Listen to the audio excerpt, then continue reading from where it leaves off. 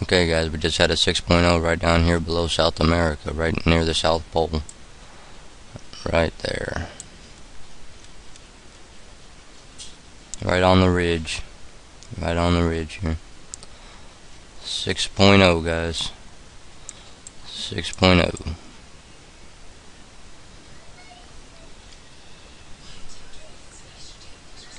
And I don't think it's on USGS yet.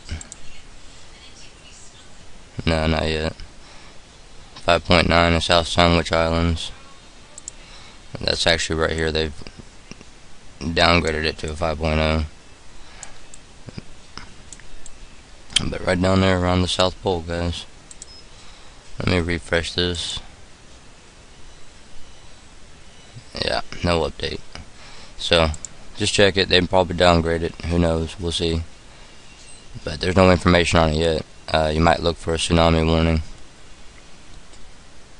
We'll just go ahead and do that real quick.